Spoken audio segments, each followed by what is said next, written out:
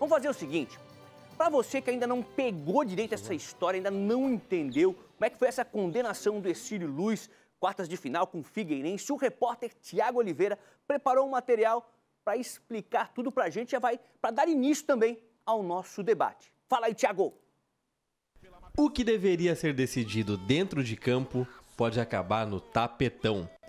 O Tribunal de Justiça Desportiva de Santa Catarina condenou Ercílio Luz por utilizar um atleta de maneira irregular no jogo contra o Brusque, no dia 10 de abril, pela nona rodada do estadual. E essa decisão afeta todo o campeonato.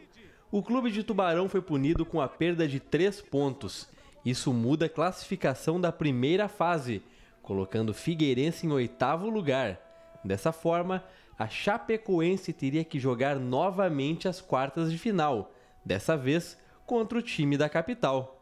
Na verdade, na nossa interpretação jurídica, o campeonato não deveria ter sido paralisado. Na nossa visão né, de estudioso do direito desportivo, é, é, juridicamente é questionável essa, esse retorno do, do Figueirense, porque já teve a segunda fase, ela já foi jogada, ela já foi concluída, já tem uma semifinal marcada com a Chapecoense e Marcílio Dias. A gente não poderia aproveitar né, o Figueirense numa situação como essa. Lembrando que é, a Federação Catarinense demorou praticamente 20 dias para comunicar ao tribunal dessa suposta irregularidade. Se ela tivesse feito isso logo após o jogo, a gente estaria ainda na primeira fase. Então, ó, o cenário desportivo mudaria totalmente, não só com relação ao Ercílio, mas com a, a, com a Chape, com o Figueirense, com os demais envolvidos, né? O TJD realizou o julgamento com base nas informações passadas pela própria Federação Catarinense de Futebol que informou que o lateral Alisson Moreira não poderia entrar em campo contra o Brusque.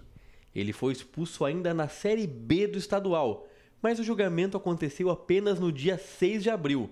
Além de perder os três pontos, o Ercílio Luz ainda vai ter que pagar uma multa de 15 mil reais. A gente já fez um pedido de revisão em nome do jogador, em nome do Alisson, para questionar alguns, alguns procedimentos e tentar anular aquela pena. Então, na nossa visão, né, a gente fez uma análise completa de todos os processos. O Alisson não poderia ter sido punido lá atrás, e então, por consequência direta, se ele for absolvido, né, se a pena dele for cancelada, é, teria uma relação direta agora com o processo que foi julgado ontem e, inclusive, pode novamente é, alterar né, os rumos do campeonato. A Federação Catarinense de Futebol já oficializou as mudanças e marcou o primeiro jogo entre Chapecoense e Figueirense para o domingo. Já o Ercílio Luz garante que vai buscar reverter a situação. É bem provável que vamos recorrer né, e buscar aquilo que nós achamos que é o correto. Tá aí. Tiago Oliveira explicou pra gente um pouco, deu uma geral na situação. Já tem gente mandando mensagem. O Marcos de Joinville está indignado. Que vergonha! O Figueirense, junto com a Federação Catarinense de Futebol, prejudicando mais um clube para beneficiar este timeco, se referindo ao Figueirense, opinião aqui do Marcos. Só do Jack foram dois títulos que passaram a mão de uma forma vergonhosa. Eu, é o Marcos, teria vergonha de torcer para um time desse. Está indignado aqui o, o Marcos. Vamos começar com o Badá. Badá, Vamos fazer um giro rápido para todo mundo participar. Como, é, que vocês, como é que vocês viram? Começar com, vamos pela, com o Fábio? Vamos começar com o Fábio, então. Fábio, rápido, condensem, compacta já tá aqui, já tá, a tua já, opinião já tá sobre tudo. Não, tá doido já? Fala, Fábio, boa tarde.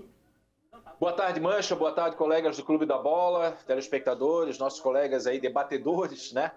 Ô, Mancha, só rapidinho, por favor.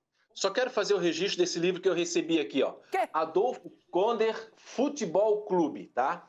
Esse livro aqui foi escrito pelo Coronel Menezes, José Geraldo Rodrigo de Menezes, e ele fala do time do Adolfo Conder aqui de Florianópolis, que chegou a ser vice-campeão catarinense em 29, perdendo pro Caxias. O time Adolfo Conder era da Força Pública, que é, o, é como se fosse hoje o time da nossa Polícia Militar. Belo trabalho, belo trabalho pesquisa, já li, recomendo. Tem aqui na Livraria Catarinense, na Banca Catedral em Campinas, na Agronômica. Então aqui, ó, eu indico. Obrigado, Coronel Menezes, pelo presente, né? Vai aqui para para minha estante aqui de livros de Santa Catarina do futebol e é mais uma obra. Ô Mancha, por que, que eu fiz assim? Eh, por que, que eu fiz assim? Na hora, eu respeito o nosso telespectador que ele disse que é o Figueirense que tá. Gente, eu vou falar uma coisa aqui, assim, ó, de cadeira. Se tem as instituições que não têm culpa em todo esse rolo, são os clubes de futebol de Santa Catarina. Nenhum deles, nem o Ercílio Luz, que botou um jogador irregular, tem culpa. Porque a culpa não é do Ercílio Luz. A, a culpa foi do TJD, a culpa foi da federação, TJD que demorou quatro meses para julgar uma simples expulsão, a federação que fez todo esse rolo, voltou atrás nas quartas de final. Então, dessa vez aqui, eu vou poupar os clubes de futebol, inclusive o Ercílio Luz. Porque ele faz a lambança, existe alguém para julgar. Existe a Justiça Desportiva, existe a Procuradoria para denunciar. Então, o Ercílio também está fora. O Ercílio não era nem para ter entrado nas quartas de final. A vaga era do Figueirense. Então, eu vou aqui defender os clubes nesse ponto geral. Ah, porque é o Figueirense. Ah, porque é a Chapecoense. Ah, porque eu sei. Cada clube está no seu direito. E todos foram prejudicados. O Havaí foi prejudicado, o Brusque que não joga amanhã, que perderam a sequência. O Marcílio Dias, coitado, venceu dois jogos contra o Juventus. Então, assim, os, os caras que fazem o espetáculo lá dentro do gramado, com a bola rolando, foram os verdadeiros é, culpados. Aliás, foram os verdadeiros prejudicados. Os culpados quem é? Quem está atrás, numa sala, com ar-condicionado, sabe, tranquilo. Então, o campeonato está manchado. E eu vou defender aqui todos os clubes. Dessa vez, todos foram vítimas. Sabe por quê, Mancha? Porque daqui a cinco anos nós, não vamos ter saudade nenhuma do campeonato catarinense de 2021. Tá certo? E vale lembrar, né, Fábio, que o estagiário lá do Scarpelli, que se adiantou aquela vez, lembra? Se adiantou, era um visionário. Badá. Ele era um visionário. O Figueirense está classificado, é verdade. Bem lembrado.